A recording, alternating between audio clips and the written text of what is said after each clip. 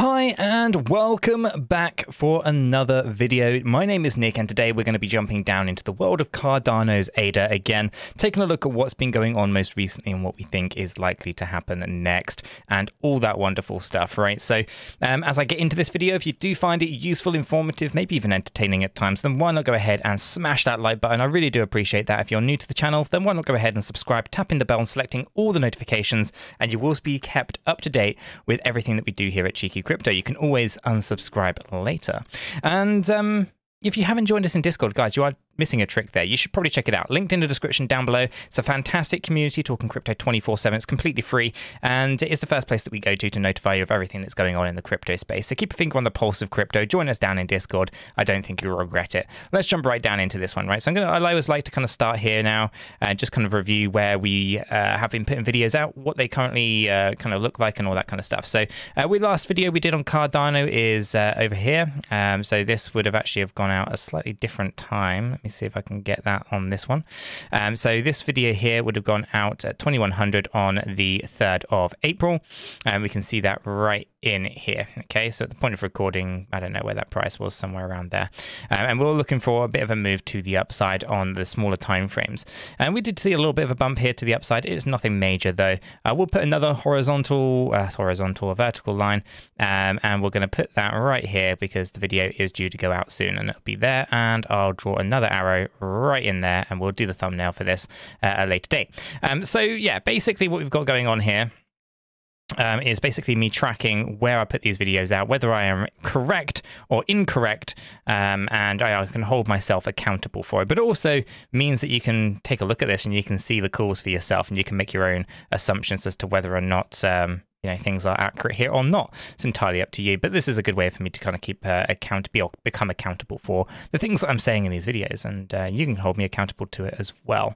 Let's go ahead though and jump into the analysis side, right? So now we can kind of see this. So we'll start with some Elliott wave theory. We can see here that we had this local top. Now we're on the daily chart. I'm only going to be looking at the daily charts here, okay? Because this is really what I want to be focusing in on at the moment. And we can see this five wave structural point coming down, and this is the main concern at the moment. We're kind of currently stuck in the smaller movements going on in here between 37 and 40 cent, right? That, that's kind of a given, right? There's some micro movements on the hourly chart, for example, um, and that might play out and might push up higher. One of the things, though, on our daily that we really, really want to make sure that we're aware of is that there's a high, and this high, the local high up here at 42.13 cent.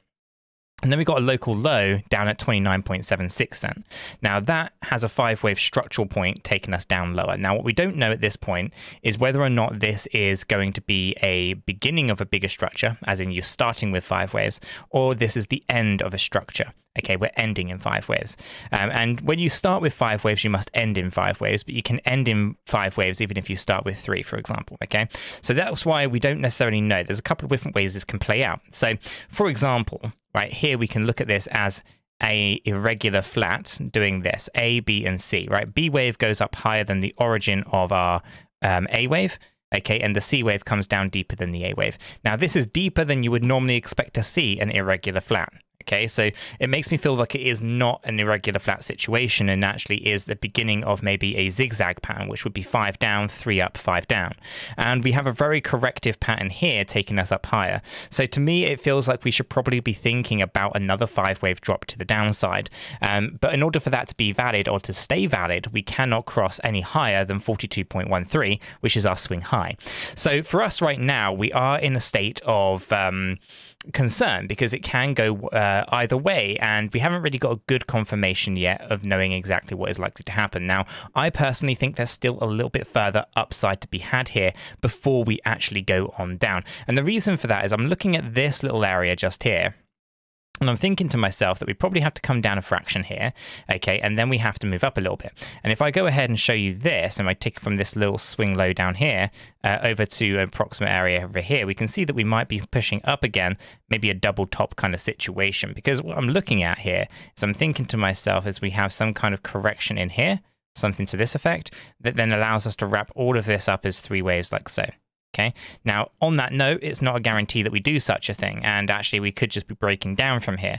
Um, but until we get confirmation, it's really hard to know. Now, we can, of course, with a daily uh, time frame like this, kind of be okay to kind of short the market and hold a good swing, uh, a good good stop loss above that swing high. Right? We know what would break our structure, which will be 42.13. So just put in that stop loss just above 42.13 and put in our take profit lower than our swing low. We can get a pretty decent R and R, right? A risk reward ratio of well over 2.3. Um, and actually, that's not too bad. And we can be a little bit more descriptive over where it could go potentially uh, as the structures start to emerge. So, where we are right now, it isn't actually terribly too bad for thinking about maybe doing a short position on Cardano's ADA, as long as you're willing to stay in the red for a few days or so uh, and potentially ride that up a little bit. Now, obviously, I do think there's going to be a better, better entry if we were to go down into the smaller time frames. Okay, we might be able to kind of really get this ramped up and do a bit of a snipe here and get a risk reward ratio much greater than 2.3, maybe 4.6, and so forth. So this isn't to kind of say that there's going to be a perfect entry. I'm not going to snipe it, but if you're quite happy to kind of hold a position for multiple weeks, then this could be something that might be interesting to you guys. Now, if you are actively trading, then you why not check out BitGet, linked in the description down below. BitGet is my go-to platform at the moment for all my trading, whether that is spot trading or leverage trading. Okay, now there's a lot of FUD circulating at the moment around BitGet, and I do urge you guys to join us down in Discord if you haven't done so already. We can discuss more in details down there, um, but I do consider it all FUD. And actually, when I look into it and uh, in detail, and we can see what BitGet have put out in terms of their press releases, I'm more than happy to say that no one I know of has ever had any issues with BitGet. I haven't had any issues with BitGet, and I'm using BitGet for everything at the moment. So um, I just label it up as FUD, and we can talk more about that down in the Discord server about why I think this as well. So do join us down there. Um, ultimately, though, there are some fantastic offers available. If you are looking to sign up to BitGet, you can get uh, cash back when you deposit $50 USDT, get $10 USDT back. They also do deposit bonuses all the way up to $8,000, depending on how much you deposit and how much trading volume you put through on the platform. Now, above and beyond those two things, we also have weekly competitions down in our Discord server where we uh, offering $100 per week um, to the winner who has the best ROI percentage within that seven day period. Now, you can see down here that we've got uh, various different people actually participating in this.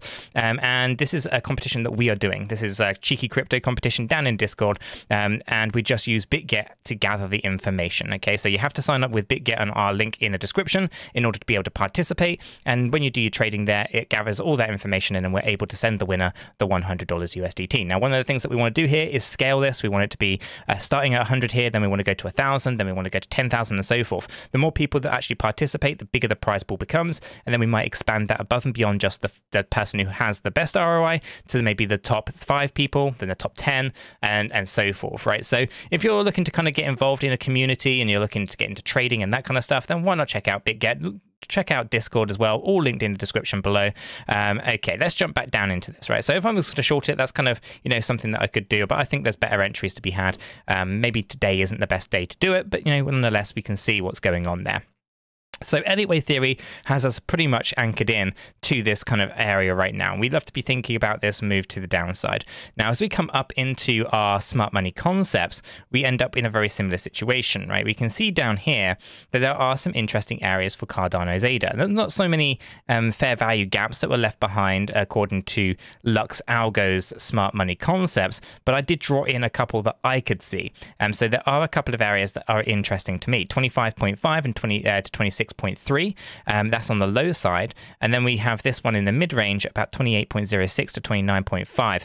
Uh, these to me look like they should have been actually signaled up by the algorithm in, oh, sorry, the algorithm, but the uh, Lux algo uh, let's get my words out, smart money concepts indicator. It didn't do those, I just drew them on, um, and we can see that there. So uh, I think there's going to be some kind of retracement. Now, we can, of course, see that there are some minor movements to the upside here, and there also were some major movements to the downside. But if we zoom out of this daily chart just for a fraction, we can see that our big structure is still very much bearish, and it hasn't changed. It hasn't flipped into a bullish state yet. So everything here looks like it is still bearish on this daily time frame, and we should be pretty concerned about that. We can also also see that we are high on the stochastic on the daily. We're overbought on the weekly. Things are not stacking up brilliantly for long positions on Cardano's ADA. So I do think and I do look at this thing as a big correction pattern coming and taking us down into these fair value gaps. Now, I'm not saying that we have to go down lower than the low that we've already in, but I do suspect we probably might at some point in the future. At the moment, though, we do have to look at this thing as a corrective structure, and we do kind of have to think to ourselves about coming down and testing these lows. So I do think there's going to be some fantastic shorting opportunities on Cardano, and I do think that we see that pretty clearly here within the smart money concepts and within the Elliott wave theory. We can see that there's this big area of red up here. This is all selling pressure. We can see that we're below equilibrium and we're getting rejected right now from the 200 EMA on the daily time frame. So ultimately things here are not stacking up positively for Cardano and I would expect us to be looking at this as a major rejection point. And as I said, shorting the market, I still think we might get a better entry on a smaller time frame, but you know, shorting the market I think is actually where Cardano currently sits. Now, if I take this up into our kind of major areas of support and resistance. We can see that I've labeled a couple of key areas for us. Um, 44 cent is the main one that I'm really kind of concerned with. I drag this yellow box over here. You can actually see 40, 40.23 to 44.83. Um, and that's an area of uh, previous um, demand turning into resistance or supply, right? Demand, now supply. And we can kind of see these kind of key areas. 44 cent is a key one for me personally. I don't think we should be pushing higher than 44 cent. We'll have to see how that kind of goes. But 42.15, uh, sorry, 42.13 right now, this swing high, I think this is going to hold as we have that five wave count going down. And I say it can be an irregular flat. It will be unusual to do that, but it could still be an irregular flat. Um, but I think actually we're probably in a zigzag pattern taking us down into those deeper levels. So ultimately, ultimately for Cardano's ADA here on these daily timeframes, I am seeing it in a bearish state. Um, that's pretty much confirmed from smart money concepts. I'm also looking at Elliott wave theory indicating that we probably have a zigzag pattern taking us down into those deeper levels.